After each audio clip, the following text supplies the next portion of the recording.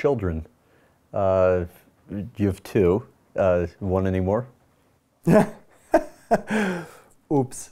Uh, tough question. I am really happy with the, with our two children at the moment.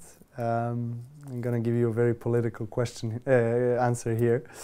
Uh, we're as couple fine for now, but I'm just gonna say for now.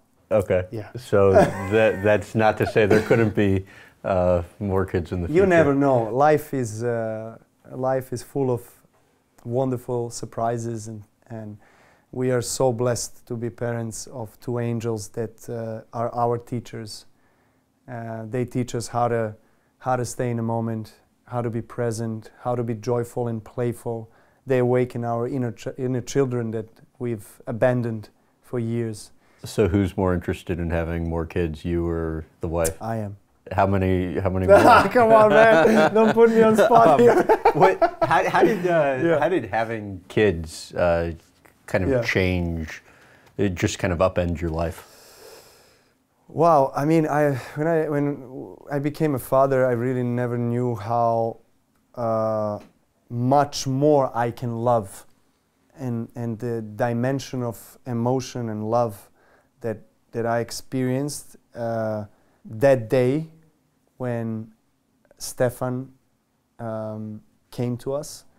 It was just unexplicable and, and uh, uncomparable to anything else that I have personally experienced, achieved um, in my in my life, and I'm sure Jelena will say the same and agree. I mean, um, anybody who is a parent understands the amount of love and support and dedication, unconditional love that you feel towards your your child, um, and the responsibility, and your just your life just completely shifts and turns around upside down. How do you think you'll go about finding a balance between all the opportunities that your success has created for your kids with not wanting to dampen motivation?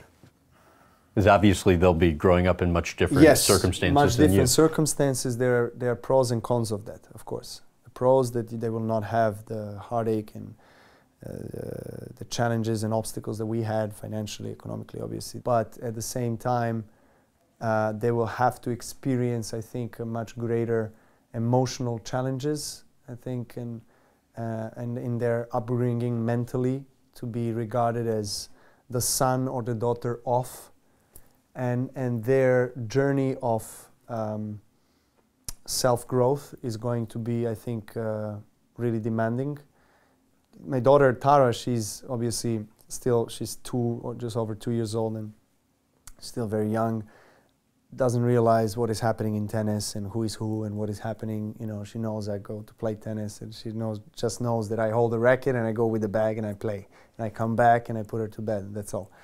Uh, and and my boy, he already starting to realize what's going on. He went to see me play in Wimbledon a couple of other tournaments now in Dubai recently as well for a match or two, and he's starting to to understand. Um, he's a very smart boy very mature for his age, uh, and he's handling it very well. That's something that is that that that that is going to be a task of all of us, I think, to create circumstances where they can and, and conditions in life in which they can thrive to be the best uh, versions of human beings that they possibly can and whatever they choose to do in life, whether it's tennis, sport, arts, whatever whatever they choose in life, we are, we will be there to to really support them all the way as any parent would do.